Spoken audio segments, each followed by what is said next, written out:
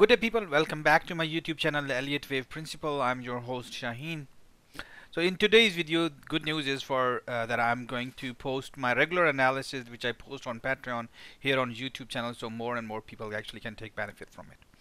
However, in return if you can actually push the thumbs up button if you even like it a bit of it if you don't like regularly then of course don't push a thumbs up button but if you like it even a bit and you think that the value there is some value to the content please do push the thumbs up button so more and more people can actually uh, see this content um, once of all first, first of all we are going to look at gold and silver only so let's get back a bit and see what's happening now I do believe that we have actually created a major bottom right over here. Not only that, but we are also completed wave 1, 2, and 3, and 4. Does that mean a smaller wave 5 and then that's it? No, I believe in that case, in this particular case, I believe that we are looking at in a very elongated uh, fifth wave. And I'm looking, uh, I've done some studies and I'm looking at something, the next target for gold is going to be about uh, $2,000 per ounce and then we'll look at it after what happens after that but for now the uh, the target that I'm giving right now is four thousand dollars an ounce. And I'm not kidding about it. It is very very realistic. As soon as we come out of the the consolidation that's happening uh, the, the consolidation that's happening right now. And I believe the process has already started. So as far as Elliott wave analysis is concerned we are considering it as wave 1 2 and 3 and 4 if you look at the traditional technical analysis and then we can see the prices have actually uh, been refused from the previous top region just beyond the previous top. The important point here is that instead of going all the way down it's been almost a year right now when the refusal occurred. Instead of the prices going all the way down over here uh, they have actually stayed uh, just below this particular structure just within the very first support structure that happened in the whole correction. That gives you gives you a clue that how strong the upper trend is. And although the prices got a pullback then they're not actually heading downward so this is one major major uh, sig signature of the price moving upward as far as Elliott wave analysis is concerned, even though it looks like a triangle, I'm not considering it a triangle because on some of the patterns, uh, on some of the charts, the new extreme was created. So that gives me to consider it as a triple zigzag, single zigzag, a correction. This is called a expanded flat, another zigzag, another a flat correction, and and the last one zigzag. So it completes the three zigzags. If we zoom in a little further, we can see that we have seen a little stronger price movement and then I'm considering this whole price movement as a double zigzag. Not only that we have come out of the correctional channel, uh, the, but we have also broken the support, that means the channel definitely. But we have actually seen prices gone up and we are seeing right now some correction. Uh, there was some uh, possibility and I had a trade I put got out of it. The reason I did not make a forecast of it that I do not want to put a lot of pressure uh, on the intraday trading setup alright? If you're up from the bottom and I call this bottom if you're up from the bottom then you should not be worrying. And if you're not up from the bottom and if you have seen only the bottom entered somewhere over here you still don't have nothing to worry uh, let's have a look why this price is returned back and see what's actually happening so one support came back, this diagonal support is important, but we also need to look at that this support is also important. So if kind of, let me drop this and this as well. So you guys actually can see that the price action is now getting pressed from the top and the bottom. Both places are coming in order. So does that mean that we are going to see that price movement? Not so quickly but before we can actually uh, do that we need to uh, going to spend some time over in the here.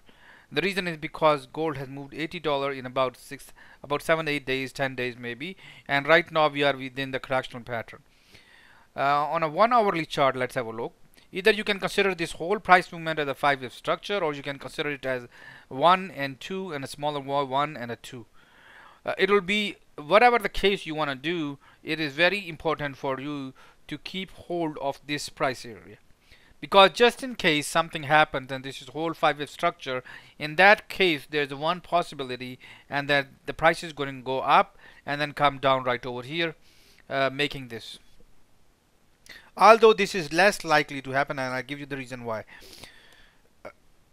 so although it's less likely to happen but there's a strong possibility that if it does happen then you don't get caught uh, considering that this is a wave 1 and then wave 2 uh, wave 2 cannot go beyond the wave 1 so you are uh, you don't get an easy entry. Markets are not they don't allow you to actually get so easy on trading right?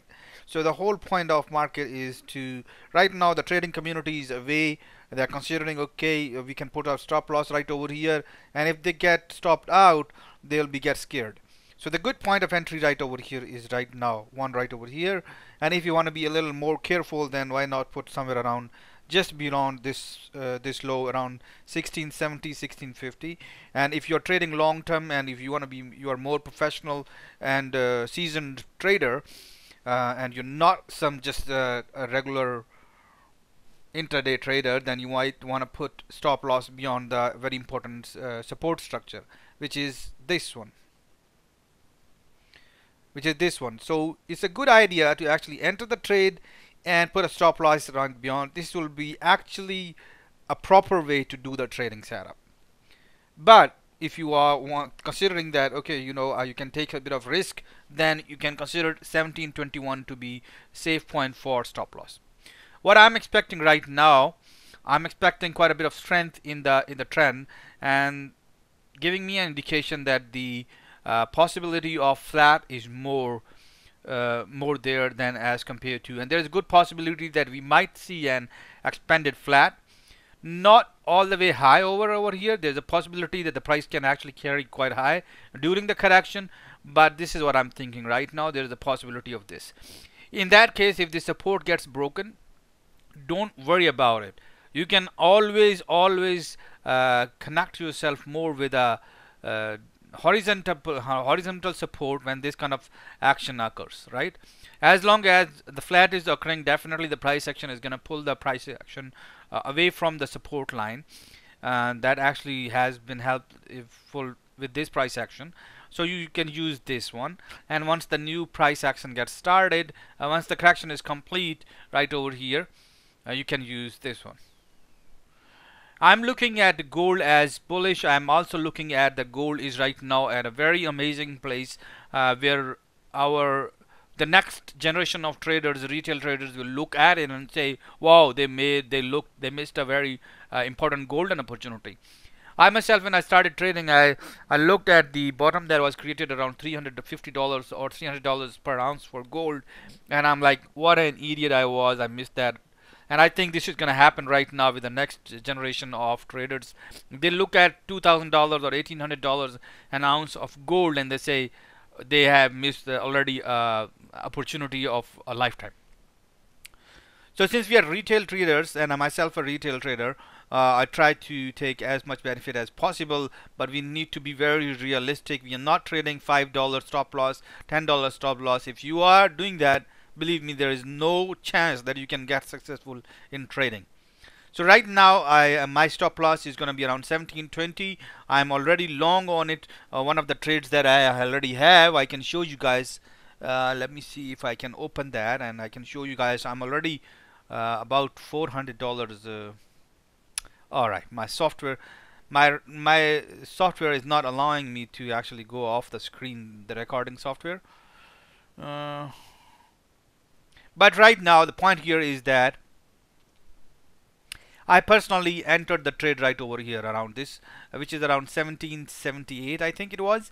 So the price has gone a little more than deeper than I thought. I thought this price action would occur in two three days. Instead it took it to one day. So this is uh, this is tradition this is you know I should have anticipated it that yeah we can see first leg stronger uh, and then third leg very slower so I, would, I should have anticipated it but when you are doing some wrong uh, I mean short-term thinking then your brain is of course under pressure and then you are not uh, evaluating the market conditions really quickly. The point here right now is I am already in a trade.